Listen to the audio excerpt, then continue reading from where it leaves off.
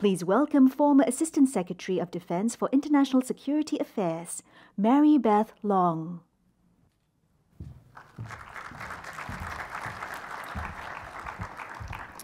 Good morning, and thank everyone for being here. I particularly want to thank Senator Brownback and all the organizations and institutions to coming for something that is so easily overlooked, but so important. I started my life in the Central Intelligence Agency as an operations officer abroad, and I finished up my government career um, as the Assistant Secretary responsible for just about every conflict area you can imagine.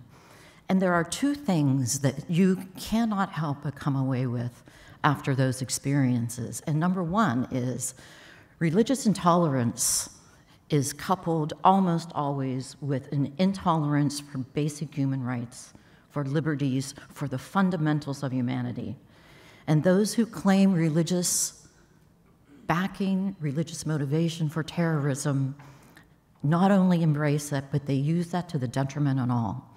There are so many conflicts, whether it's a local terrorist seeing a political divide or an economic divide and manipulating people to use his religious backing or his alleged religious guidance to motivate people to violence, or whether it's just the lack of belonging and the need for religion or the need for tolerance of not being religion or not being religious that really undermines our humanity.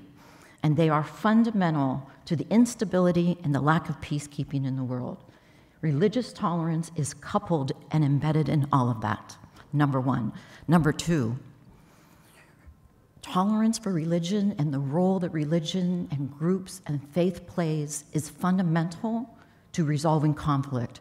And what we need going forward in the world is more participation on the ground, more inclusion of the private sector, more strengthening, as Secretary Pompeo said, of using belief to not only avoid conflict, phase zero from a military standpoint, but then to resolve it on the ground. And that is why the coupling, the intersection of international religious freedom and our national security, the world's national security and national security policy, while overlooked, is really important, never more important than now. Think about it. We wake up today very different than we woke up just a year or two ago, very different than post World War II, very different even than after the Cold War. Conflict is everywhere. It's increasing, the kinds of conflict and threats are increasing, and the domains. We now have danger in the very air we breathe and in the internet. And yet, we're more divided and more divisive than ever before. There has got to be a recognized role for unity, for faith, for human rights, and for religion, and not only avoiding, but resolving these conflicts. And that's what we're here to talk about today. With me on the panel are two people that have dedicated a lot of their lives, and certainly in some respects his security, to integrating faith and faith based and unity into the world and calling out those who would use religion and re- use violence to separate us. Do you think it's not really happening and it's not really a military issue? What about what the Taliban is doing to women and others in Afghanistan? What about the intolerance in Pakistan that has led to beheadings and permanent jailing? What about the rise of ISIS in Syria and other African nations? What's going on in Nigeria, which the Secretary just talked about? What about the persecution of Uyghurs by the Chinese? What about the, the, the lack of unity and the, and the use of faith in what is happening now in Ukraine with the Russian basically invading that country and cloaking themselves in religion. I realize it's a hot topic, but I also realize that without us belonging, without unity in religion and faith, we have violence, we have destruction, we have lack of humanity, we have lack of recognition of human rights, and eventually we have genocide. And that has got to stop. I'd like to call upon my other panel members to talk about how they see that playing a role looking forward. With me today is Sir David Alton from Liverpool. Who recently wrote a book um, that actually criticized China and the Uyghurs, and he's been sanctioned by China because of it. Lord Alton.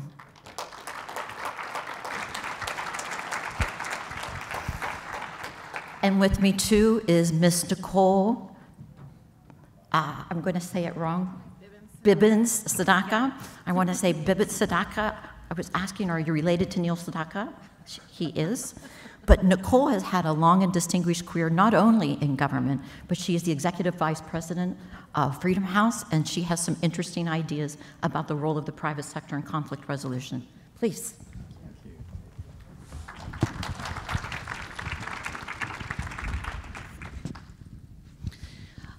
I note that, contrary to our national security strategy for the United States, uh, which previously listed religious freedom as one of our founding principles of our national security strategy, our security strategy.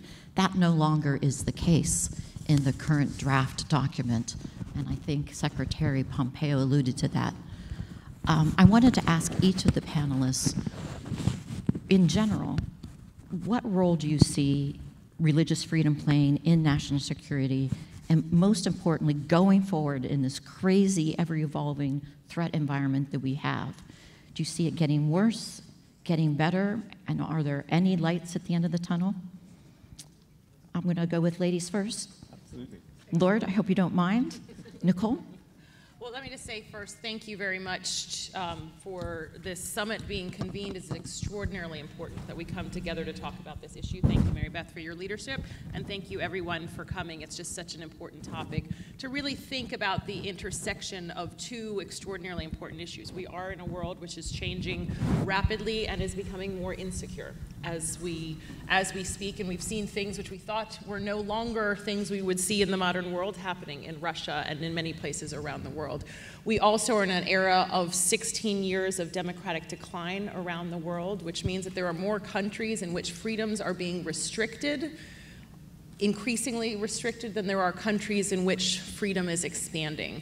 And so it's really important for us to dig into those. So let me just share, if I could, just a few of the trends that um, that I have been seeing and that I think underpin this intersection between um, religious freedom and national security, and then gave maybe a, a nugget of hope at the end.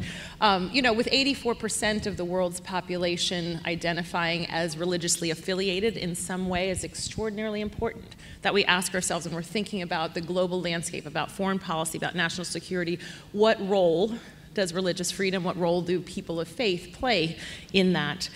So, I want to make three points about where I am seeing this intersection that we really need to focus on for those of us who are in the foreign policy and national security sphere. The first is unrestrained authoritarian power, which we are seeing increasing around the world at a pace that is deeply concerning. We know that religious liberty is limited primarily in those countries with authoritarian leadership. And what we also know is that that is part of a suite of repressive measures. It is not just religious liberty, but certainly religious liberty is where many authoritarian leaders target their repression. And we know that those leaders who are willing to, to go against international standards on religious freedom or other human rights are very willing to go against international standards on national security. And so, what we have to see is when we look out around the world and we look at the international landscape, we have to say those countries that are willing to, to, to stand against against international standards are willing to do it, and then they are therefore a threat to both the security and the values that we hold. The second is a limitation of religious freedom as a source of radicalization. And Mary Beth talked a bit about um, violent extremism, terrorism. I spent some of my time at the State Department working on counterterrorism, so got to see many of those issues closely. And what we see is that in many places where religious freedom is limited, and faith communities are targeted for repression by authoritarian governments, in those places, people of faith do not have space to exercise their normal religious freedom. They don't have place to worship. They don't have the freedom to raise their children and to, to speak about their beliefs. And that makes them much more prey to the radical elements of their faith that are looking to say, no, no, no, here's, here's the path to being able to express yourself about our faith. It doesn't mean the entire faith by any means is radical, but what it means is that the fact that people don't have that space to, to exercise their religious liberties um, is, is, is fertile ground then for the radical elements that would then seek to use violence and other, other means which make us a less stable community. Last point that we've seen and is concerning is the manipulation of religious community by populist and authoritarian leaders. So, what we see is many undemocratic leaders around the world wielding religion as a, as a weapon to advance their own personal objectives, whether by co opting belief in their rhetoric or harnessing violent extremism. And it's a way to hold on to power because what we see with populist leaders and authoritarians, they don't want to actually subject themselves to the will of the people or subject themselves to the ballot box. So, how else are you going to gain support? And the best way to do it is to divide a society and bring people in through less democratic means. And so, autocrats know that it's, it's much better for them um, to divide than to unite um, a, a, a, society. And so, by dividing societies along religious lines, they are able to weaponize the difference we have, stoke animosity, and build loyalty to themselves and to their regimes.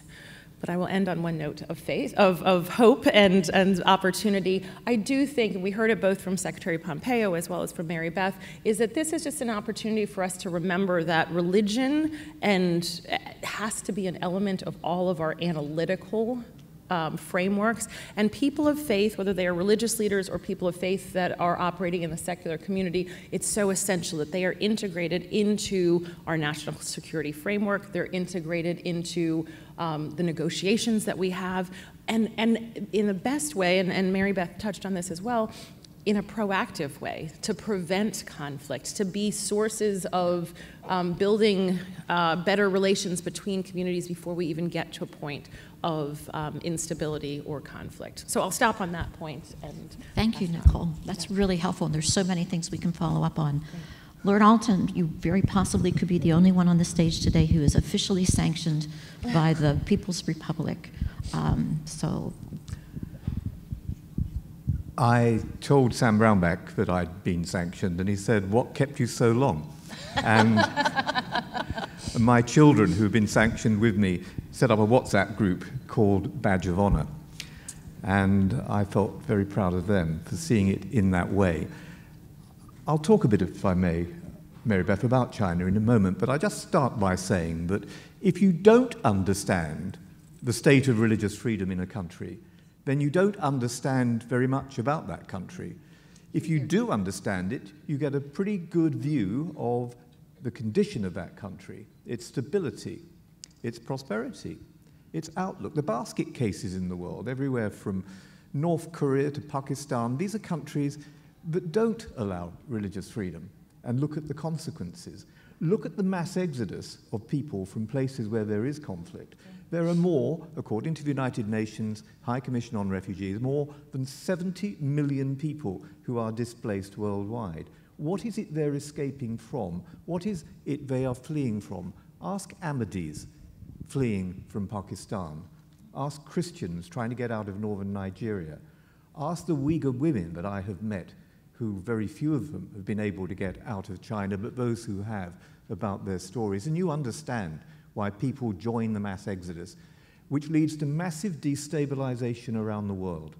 And in turn, that, I think, is an example of religious illiteracy amongst many of those who make policy at the highest levels in our liberal democracies. And they have a lot to answer for, for this blind spot. I'm going to give the example, if I may, of Nigeria in a moment, of where there is massive religious illiteracy. And I think that we need to push this right up the agenda for a whole stack of reasons. One of them is because countries like our own, and many of your countries, of those of you in the auditorium today, are signed up to the 1948 Universal Declaration of Human Rights, the work of Eleanor Roosevelt and many others who sat on those committees with her in the immediate aftermath of the Second World War. It was born out of the ashes of Auschwitz and Bergen-Belsen and the other horrendous concentration camps and those millions who had lost their lives in the Holocaust.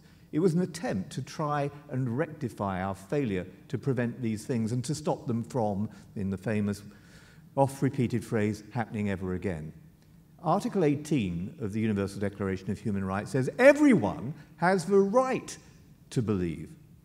They also have the right not to believe and the right to change their belief. And we see that being breached every single day. It's an orphaned right around the world.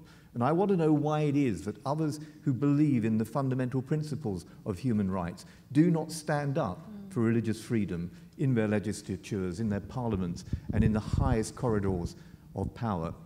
And they need to do it not just because it's the right thing to do, not because of the wicked things that are happening to people who are being persecuted, but they need to do it also because it is a harbinger of worse things to come when you ignore it. It is the canary in the mine. It's a barometer, and we know what barometers do. They measure the future patterns of weather.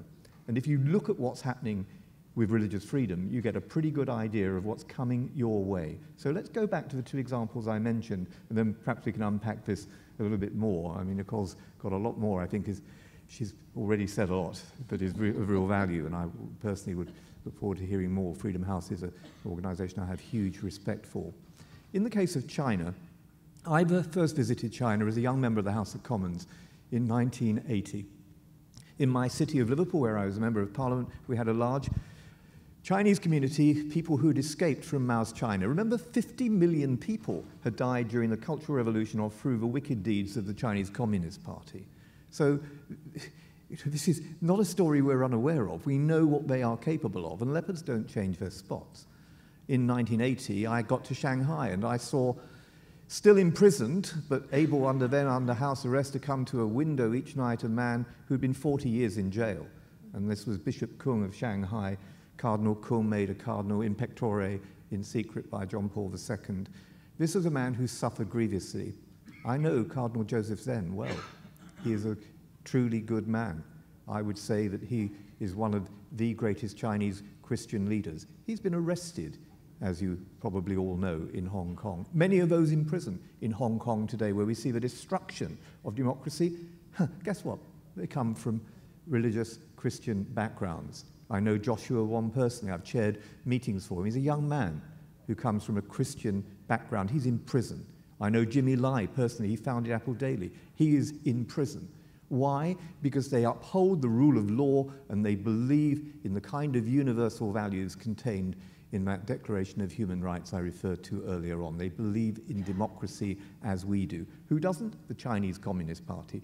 And they are subverting the international agreements that were made in the case of Hong Kong. They threaten Taiwan on a daily basis.